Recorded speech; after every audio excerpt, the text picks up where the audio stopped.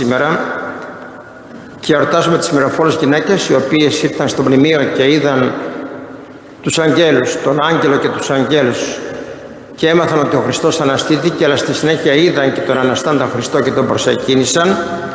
Και βεβαίως εορτάζουμε και ενθυμούμαστε και δύο μαθητάς οι οποίοι ήταν κρυφοί μαθητές του Χριστού και περίμεναν τη Βασιλεία του Θεού που είναι ο Ιωσήφ ο από Αρημαθέας, ο οποίος καταγόταν από ένα χωριό της Παλαιστίνης που λεγόταν Αρημαθέα και ο Νικόδημος Ευσχήμων βουλευτής. Έχουμε λοιπόν αυτό το γεγονός των μυροφόρων γυναικών και ανδρών θα μπορούσαμε να πούμε γενικότερα. Και αν ε, εξετάσουμε και αν δούμε το Ευαγγέλιο το οποίο ακούσαμε προηγουμένως, αν ακούσουμε το Ευαγγέλιο, αν προσέξουμε το Ευαγγέλιο θα δούμε ότι αναφέρεται σε δύο γεγονότα. Το πρώτο γεγονός αναφέρεται στην αποκαθήλωση του Χριστού και τον εντεφιασμό του σώματός Του και το δεύτερο γεγονός αναφέρεται στην ε, Ανάσταση του Χριστού όταν οι μυροφόρες γυναίκες πρώτες αυτές ήρθαν στο μνημείο είδαν το λίθον το οποίο είχε αποκυλιστεί από το μνημείο και βεβαίως άκουσαν μετά περί της Αναστάσης του Χριστού και είδαν τον Αναστάντα Χριστό Έχουμε λοιπόν το Ευαγγέλιο το οποίο ακούσαμε προηγουμένως και είναι πάρα πολύ σημαντικό. Πρώτα πρώτα μας είπε ότι ο Ιωσήφ ο Απορριμαθέας, ο ευσκήμων βουλευτής τολμήσας εισήλθε προς Πιλάτον και ζήτησε το σώμα του Χριστού. Ο Πιλάτος ε, ρώτησε και έμαθε ότι εάν πραγματικά πέθανε τον διαβεβαίωσε ο κεντηρίων ότι πράγματι απέθανε και δωρίσε το, το σώμα του Ιησού. Αυτό το λένε και οι τέσσερις Ευαγγελιστές για τον Ιωσήφ τον Απορριμαθέας. Όμως μόνον ο Ευαγγελιστής ε, Ιωάννης είναι εκείνος ο οποίος ομιλεί για τον Οικόδημο. Δηλαδή όταν πήρε ο Ιωσήφ το σώμα του Χριστού ή μάλλον την άδεια για να αποκαθιλώσει τον Χριστό τότε ήλθε λέγει και ο Νικόδημος ο κρυφός, ο κεκριμένος μαθητής του Χριστού ήρθε μαζί, ήρθε στο χώρο εκείνο της Σταυρώσεως και είχε λέγει μείγμα σμύρνης και αλόης περίπου 100 λίτρα. Ένα πολύ μεγάλο ποσό από σμύρνα και αλόης μείγμα για να ενταφιάσουν τον Χριστό. Και μαζί τον ενταφίασαν. Πήραν τον Χριστό από τον Σταυρό λέγει ο οίκος της Αγίας και Μεγάλης ε, Κυριακής του Πάσχα σώμα λέγει ζωηφόρων και τεθαμένων. Το σώμα το οποίο παρέλαβαν κατέβασαν από το Σταυρό ήταν ζωηφόρων γιατί είχε τη θεότητα δεν είχε χωριστεί η θεότητα από το σώμα. Ενώ η ψυχή κατέβηκε μαζί με τη θεότητα στον τάφο, στον άδη μάλλον. Αλλά ήταν αμέσως εκεί το σώμα των τεθαμένων και ζωηφόρων. Είχε πεθάνει ο Χριστός, χωρίστηκε η ψυχή χωρίς να χωριστεί η θεότητα και ήταν ένα σώμα το οποίο ήταν ζω, ζωηφόρων και ζωοποιών, έδινε ζωή. Τι μεγάλη τιμή θα είχαν, είχαν αυτοί οι δύο να κατεβάσουν το σώμα του Χριστού, να το πιάσουν με τα χέρια τους που ήταν με νεκρό αλλά είχε μέσα τη θεότητα και το ενετύλιξαν σε ένα συνδόνι καθαρό και το πήγανε στο μνημείο και το άλυψαν με αρώματα, 100 λίτρα περίπου αρώματα και έβαλαν ένα, μια μεγάλη πέτρα μπροστά από το μνημείο. Όμως την ώρα που έκανε αυτή την αποκαθήλωση και τον ενταφιασμό αυτό τον έκαναν οι δύο αυτοί και ακριμένοι μαθητές τότε η Μαρία η Μαγδαληνή και η Μαρία του Ιακώβου που είναι η Παναγία εθεώρουν που τίθεται. Παρέμειναν μακριά και έβλεπαν όλα αυτά τα γεγονότα.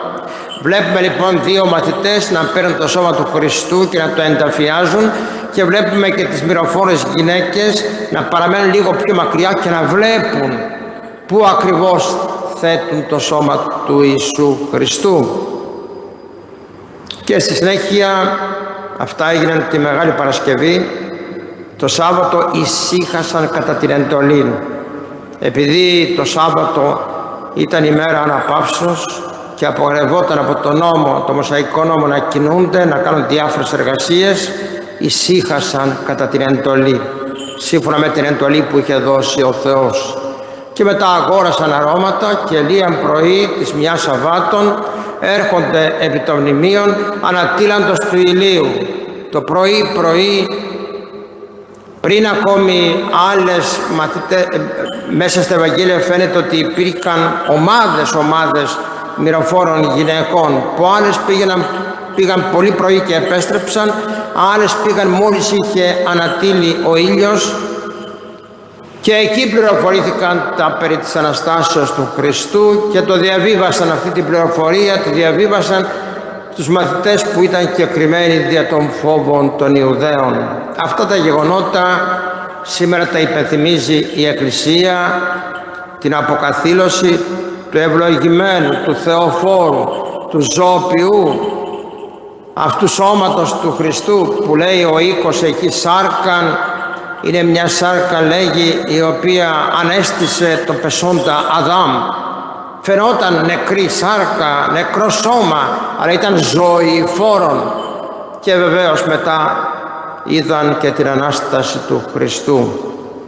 Νομίζω αγαπητοί μου αδελφοί και εδώ θέλω περισσότερο να επιμείνω Νομίζω ότι όλο αυτό το οποίο σας περιέγραψα προηγουμένως δεν το έκανα εκεί και ως έτυχε. Γιατί; Διότι βλέπω ότι είναι μια ζωντανή Θεία Λειτουργία. Είναι αυτό που κάνουμε κάθε φορά και κυρίως την ημέρα της Κυριακής που είναι η ημέρα της Αναστάσεως. Είναι η μέρα του Πάσχα, κάθε Κυριακή. Είναι μια ζωντανή Θεία Λειτουργία. Αυτό που έκαναν οι δύο κρυμμένοι μαθητές και οι μυροφόρες μετά οι γυναίκες είναι μια ζωντανή Θεία Λειτουργία. Και όχι μόνο δείχνει το πώς γίνεται η Θεία Λειτουργία, αλλά και πώς συμμετέχουμε εμείς στη Θεία Λειτουργία. Δηλαδή αυτό που κάνει ο ιερεύς που ετοιμάζει την προσκομιδή και μετά την ώρα του χειροβικού ύπνου που κάνει τη μεγάλη είσοδο ουσιαστικά υπενθυμίζει αυτό το γεγονός. Υπενθυμίζει την αποκαθήλωση του Χριστού υποθυμίζει, υπενθυμίζει τους δύο αυτούς μαθητές που πήραν τον Χριστό σάρκα ζωηφόρων και τεθαμένη τα δώρα τα οποία προετοιμάστηκαν στην προσκομιδή διότι και η προσκομιδή μας θυμίζει κυρίως την κένωση του Χριστού και το σταυρό του Χριστού όχι την ε, γέννηση του Χριστού και παίρνω λοιπόν αυτό το σώμα, αυτό το, τον άρτο και τον ίνον και τον φέρνουν επάνω στην Αγία Τράπεζα που είναι το μνημείο των κενών. Είναι το κενόν μνημείο που ετέθη το σώμα του Χριστού. Γι' αυτό και ο ιερεύς φοράει επάνω του έχει τον αέρα που τα παλιότερα χρόνια ήταν επάνω ζωγραφισμένος ο επιτάφιος. Είναι περίπου αυτή η ίδια περιφορά που κάνουμε τη Μεγάλη Παρασκευή και γίνεται αυτή η περιφορά και έρχονται και θέτουν τον άρτον και τον ίνων που ετοιμάστηκαν επάνω στην Αγία Τράπεζα, στο Ιερό Αντιμήνσιο που επάνω έχει αυτό το γεγονός, είναι ζωγραφισμένο, αγιογραφημένο το γεγονός που είναι και οι δύο μαθητές που τον αποκαθήλωσαν και τον τοποθετούν επάνω στο μνημείο και η Παναγία και οι μυροφόρες οι γυναίκες αυτό υπενθυμίζει το γεγονός αυτό και η, η τοποθέτησή τους επάνω στην Αγία Τράπεζα και πάνω στο Ιερό Αντιμήνσιο. Και γίνεται στη συνέχεια η Θεία Λειτουργία Δηλαδή επανέρχεται η ψυχή του Χριστού μαζί με τη θεότητα και αυτός ο άρτος και ο ίνος γίνεται σώμα και αίμα Χριστού. Πραγματικό σώμα και αίμα Χριστού. Όχι συμβολικό. Είναι πραγματικό σώμα και αίμα Χριστού. Αλλά και τότε που ο Χριστός ήταν στο Σταυρό και τότε που πέθανε όπως είπα προηγουμένως και χωρίστηκε η ψυχή από το σώμα δεν χωρίστηκε η θεότητα αλλά και το νεκρόν σώμα επάνω στο σταυρό είχε τη θεότητα, είχε τη Θεία Φύση που δεν χωρίστηκε ποτέ από την ανθρώπινη φύση. Και γίνεται το μυστήριο της Θείας Ευχαριστίας και ο Επίσκοπος και ο Ιερεύς μοιάζουν σαν τους αγγέλους οι οποίοι στέκονται εκεί στο μνημείο και καθώς έρχονται οι άνθρωποι στην Εκκλησία, τους μιλάνε για την Ανάσταση του Χριστού. Έρχονται πρωί πρωί οι άνθρωποι για να συμμετάσχουν στον όρθρο και μετά στη Θεία Λειτουργία και ακούνε τον Αναστάσιμο Λόγο και στη συνέχεια ο ιερεύς, ο αρχιερεύς και ο ιερεύς κηρύττουν το της Αναστάσεως λόγων σαν να είναι και είναι οι άγγελοι που αναγγέλουν τι ζητείτε τον ζώντα μετά των νεκρών μα τι ήρθατε εδώ να δείτε να δείτε έναν νεκρόν; Γέρθη ο Κύριος αναστήθηκε ο Κύριος. Αυτή είναι η Θεία Λειτουργία. Αυτό λοιπόν το οποίο γίνεται στη Μεγάλη Είσοδο και θα γίνει μετά από λίγο είναι αυτό το συμβολικό το οποίο δεν είναι απλώς μια αναπαράσταση είναι και αληθινό.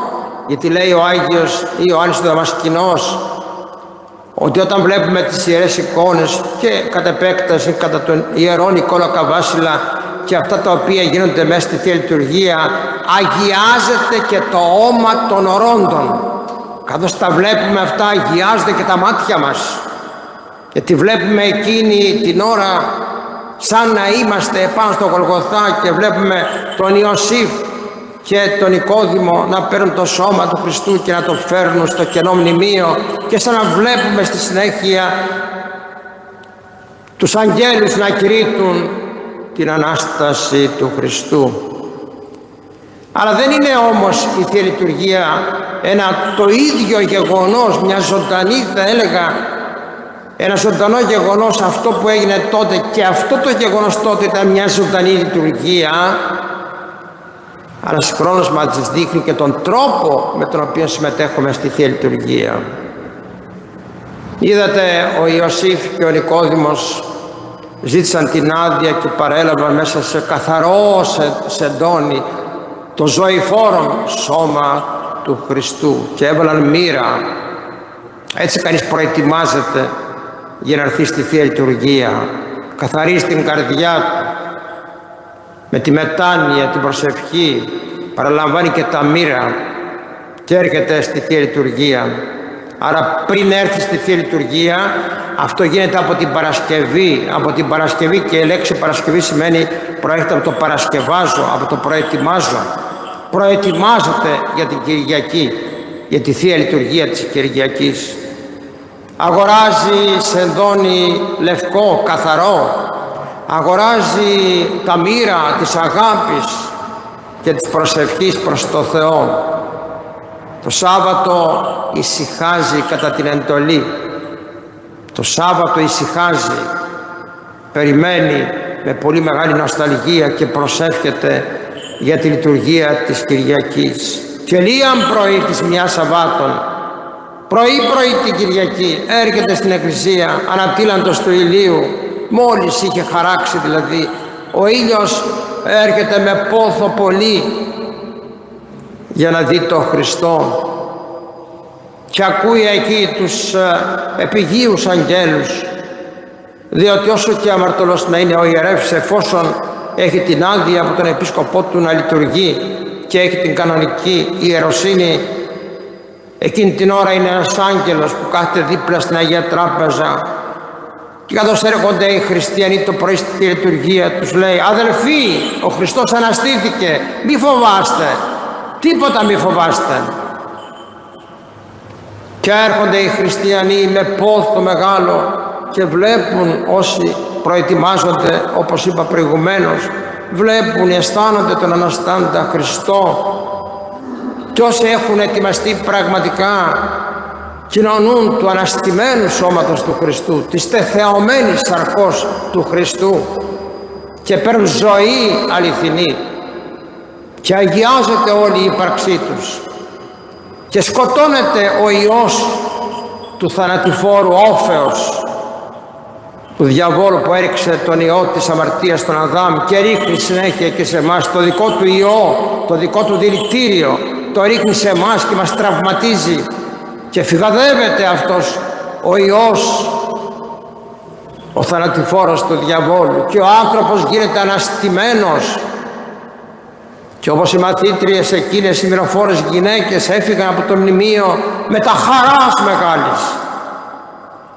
Και πήγαν στους άλλους και τους είπε ανέστη ο Κύριος έτσι φεύγει κανείς από την εκκλησία με μεγάλη χαρά γιατί συνάντησε τον Χριστό και κηρύττει και λέει σε όλους εκείνους οι οποίοι δεν εκκλησιάστηκαν αδέλφια μου αναστήθηκε ο Χριστός. Τον είδαμε τον αισθανθήκαμε τον γευθήκαμε πήραμε το σώμα του Χριστού ψηλαφίσαμε τον Χριστό.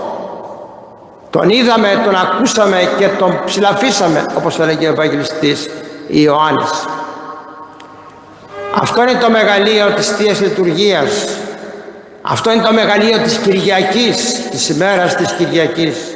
Αυτή είναι η δόξα του Αναστάντος Χριστού του ευλογημένου σώματος που κοινωνούμε του σώματος και του αίματος του Χριστού. Και ενώ αυτά κάνουν όσοι πιστεύουν στο Χριστό και είναι καλοί χριστιανοί οι άλλοι κάθονται έξω. Ο Ηρώδης, ο Πιλάτος οι γραμματείς, οι Φαρισαίοι ο Όχλος κάθονται έξω και νομίζουν ότι τελείωσε πια η ιστορία με τον Χριστό. Τελειώσαμε. Ξεμπερδέψαμε με Αυτόν. Τον σκοτώσαμε και τελειώσαμε. Και είχαν καθησυχάσει την ένοχη συνείδησή τους. Έτσι κάθονται και οι άλλοι και λένε τελειώσαμε με την Εκκλησία. Τελειώσαμε με τον Χριστό. Τελειώσαμε με τους χριστιανούς. Αλλά να η λειτουργία συνεχίζεται. Η Κυριακή ημέρα της Αναστάσεως συνεχίζεται. Οι χριστιανοί παίρνουν φως εκ του φωτός. Δεύτε λάβετε φως εκ του ανεσπέρου φωτός. Και πήλε άδου κατησκήσουσιν και κανείς δεν μπορεί να κάνει τίποτε εναντίον του Χριστού, εναντίον της Εκκλησίας, εναντίον της Θείας Ευχαριστίας και εναντίον των χριστιανών που μετέχουν του σώματος και του αίματος του Χριστού. Αγαπητοί μου αδερφοί, έτσι να μοιάζουμε και εμείς με τον Ιωσήφ τον από Αρημαθέας, τον Νικόδημο και τις μυροφόρες γυναίκες.